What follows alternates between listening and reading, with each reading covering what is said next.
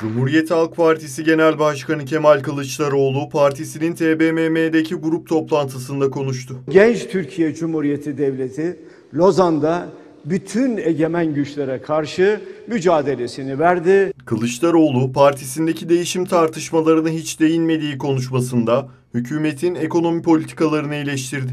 Akaryakıt zamlarına tepki gösteren Kılıçdaroğlu, biz yapılan uygulamayı ekonomik bir soykırım olarak tanımlıyoruz ifadelerini kullandı. Açıkça ifade etmek gerekirse akaryakıt zamları vatandaşın cebinden çalınan paradır. Bu gerçeği hiç kimsenin unutmaması lazım.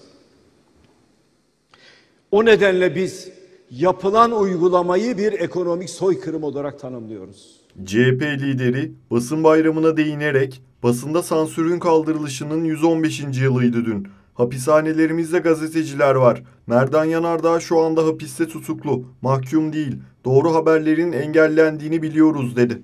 Basında sansürün kaldırılışının tam 115. yıl dönümüydü dün. Hapishanelerimizde gazeteciler var. Merdan Yanardağ şu anda hapisten. Üstelik tutuklu yani mahkum değil. Medya üzerindeki baskıları görüyoruz. Bunları yaşıyoruz.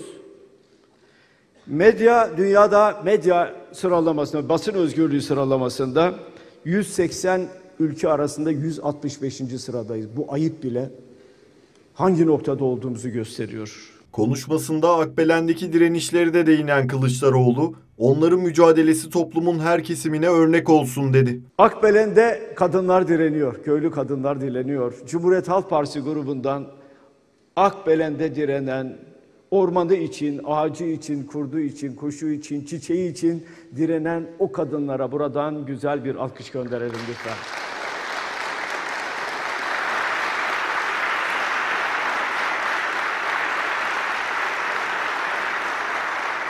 İki yıldır mücadele ediyorlar.